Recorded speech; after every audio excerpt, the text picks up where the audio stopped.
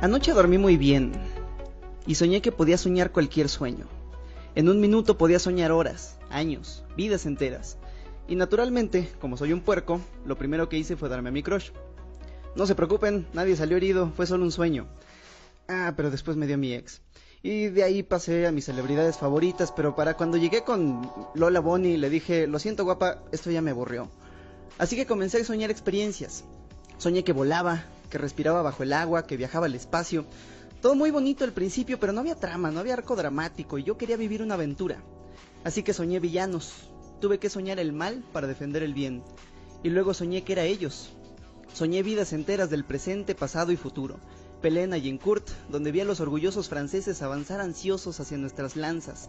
Fundé la primera colonia en Marte y luego ayudé a luchar por su independencia. Peleé en Canae, donde unos cuantos cartagineses masacramos a ocho legiones romanas. Fui cada soldado de cada batalla, pero en todas esas aventuras siempre tenía en el fondo de la mente una idea, muy vaga pero indeleble, indeleble. Esto es solo un sueño. Nunca perdí una batalla, pero no podía tomarme ninguna en serio porque siempre supe que la vida es sueño. Así que empecé a soñar que moría, pero para morir necesitaba olvidar, y para olvidar necesitaba morir. Y entonces el juego se puso bueno.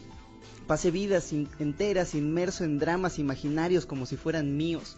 Lloré lágrimas reales por personajes que ya había soñado yo.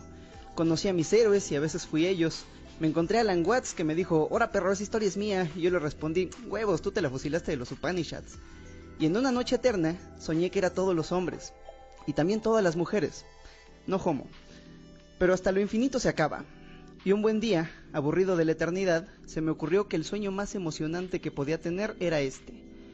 Voy a soñar que soy un muchacho mexicano del siglo XXI que tiene un canal de YouTube y va a grabar un podcast acerca de los sueños. Ya soñé que lo escuchaba, pero olvidé esa vida. Ya soñé que era el santo, ya soñé que era el David, y ahora me toca preguntarles, ¿qué pedo? ¿Qué soñaron hoy?